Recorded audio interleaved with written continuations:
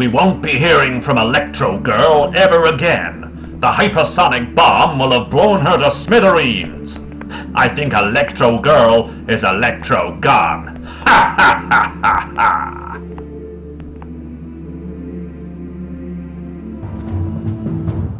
Huh? Think again, Zigzag. Electro Girl! That's right, Zigzag.